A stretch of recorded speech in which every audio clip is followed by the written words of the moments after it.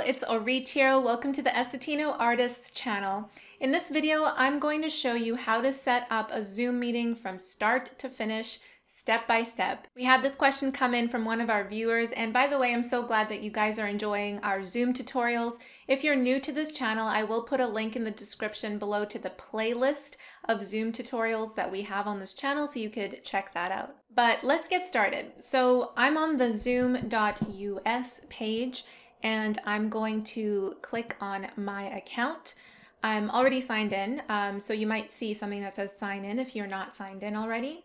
So you do need a Zoom account, obviously, to set up a Zoom meeting and host it. And if you don't have a Zoom account yet, I will put that link in the description below so you could sign up for that. So once you're logged in, you have a couple options to set up your meeting. So if you want to create a meeting right now and just meet with someone right this instant, then you can go to your personal meeting ID. And that is your personal virtual meeting room where you can at any time go to that link and also share it with, you can share it with someone else as well and you guys can meet in that virtual meeting room. So in order to see the full link, you'll need to click on show and then you can copy and paste that into your browser and then you'll be in the meeting room. You would also share the same link with your attendee or participant and they will also be jumping into that same meeting room. So that's one option if you want to jump on a meeting right away. The other option is to schedule a meeting. So if you're scheduling a meeting ahead of time, you know that you have the date set uh, with someone, then you can click on meetings over here and then click on schedule a new meeting.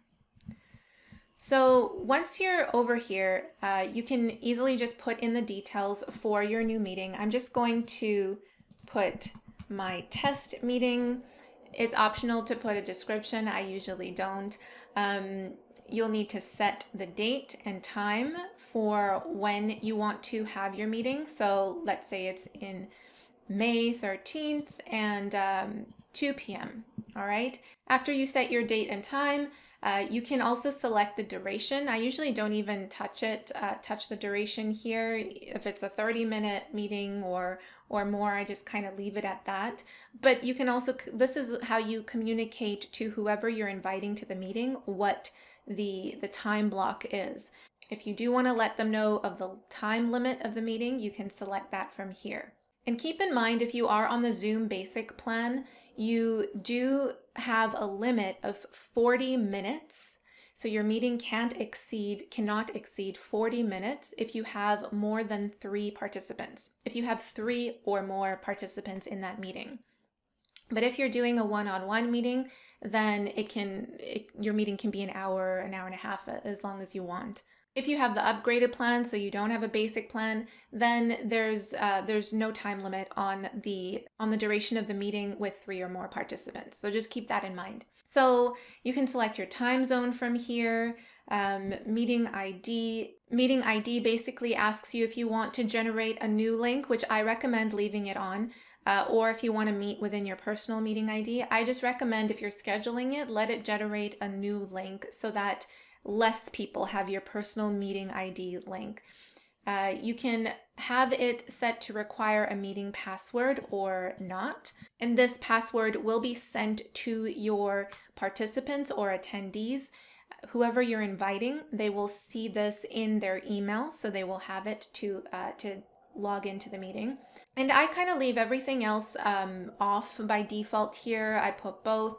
I you can customize it however you want. It's basically asking, do you want the video to be turned on or off for the participant and the host?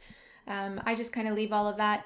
Meeting options, you have different options here. So I just leave it checked on enable waiting, which basically means that when a participant comes on to the meeting with your link and the password, they go into a waiting room until you actually, as the host, allow them to enter into the meeting room. So they're kind of on standby until, you know, so that you can get ready, you can make sure your camera's all done and your mic and everything. Uh, and then when you're ready, you can let them into the meeting room. So I leave that on yes, but you can also have these other options where you enable other people to just jump right into the meeting room before you even have gotten there. You can mute participants on entry. Um, so you have a few options here. But once you're done, you're going to click on save and then you can add it to any of your calendars. So for example, if you click on Google Calendar because you want this event to be added to your Google Calendar, you'll need to click on that. It will sync your Zoom and uh, Google Calendar together, so you need to allow it access. And then once the event is on your calendar, you can invite people to that meeting by typing in their email address and they'll get sent that invite from there and similar on any of these other calendar platforms.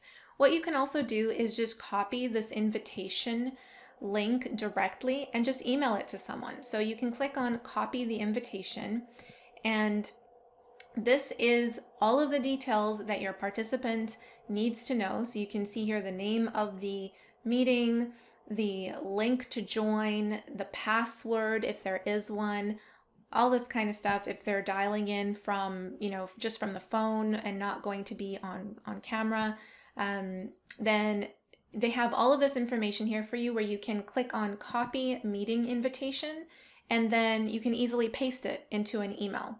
So i like that feature as well. It makes it easy. And um, and that's it. So you basically have this meeting scheduled. You can click on start this meeting now if you wanted to uh, you can always come back and edit them as well. But let's say this meeting is in the future and now you're ready to host the meeting. So all you need to do is come into, again, you will log into your Zoom account and you'll come into the meetings tab. So under upcoming meetings, you should see your the meeting that you just scheduled. If you didn't, then you didn't click save or something went wrong there, you'll need to go back and schedule the meeting. So make sure it's on upcoming meetings too and not on any of these other tabs.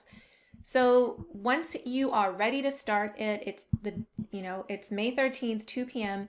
Then all you need to do is just click on start and then you'll click on open Zoom meetings. And then you're just gonna click on join with computer audio.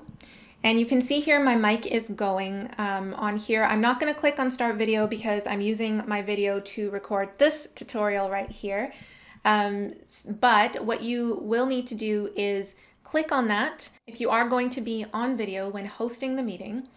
If you don't see your video or you want to make sure that it's set to the right webcam, then you need to click on this little cap or upwards arrow and make sure it's selected to the correct webcam.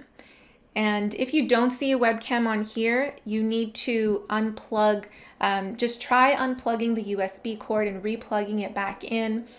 If that still doesn't work, then that likely means that there's some sort of application, uh, maybe it's like an antivirus software or something like that, that's blocking your webcam from being accepted.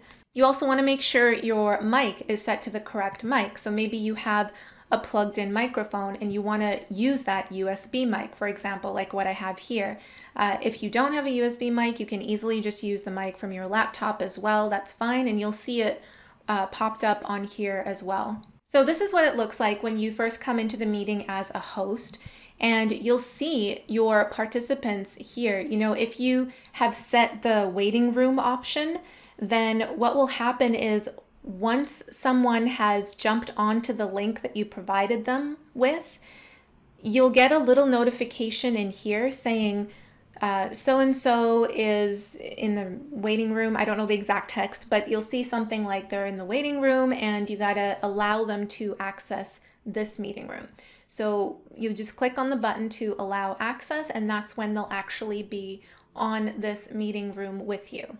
But if you unchecked the waiting room option, then they'll literally, as soon as they click on the link, they'll come right into the screen and you'll see them pop up. You can also, while you're in here, just directly invite someone through uh, the different email options here. You can also, again, copy the URL or copy the invitation to resend to them perhaps if they, if they didn't get it and you can also have you can also chat with someone here. So i sometimes use this chat function. If for example i can't hear them there's something going on with their mic i'll click on the chat box and start typing it in here. Um, and i'll say click on the chat box if they can hear me and uh, so that they can see my instructions to turn their mic on um, so that is kind of handy as well this is where you can record your meeting. When you're ready to record, you can click on that. And this is the screen share option. So yeah, so when you click on it, you can click, you will be clicking on screen and then go share. So I'm not gonna do it because again, the software that I'm using is, um, it might glitch out or something might happen. But this is what you would do to share your screen if during the meeting you'll be doing that. You can also have a whiteboard option. So if you wanted to click on that and select share, then you can literally draw stuff on here. Um, if you're demonstrating something, you can select text. There's a bunch of really cool things that you can do. And whenever you're done with the whiteboard, you can click on stop share.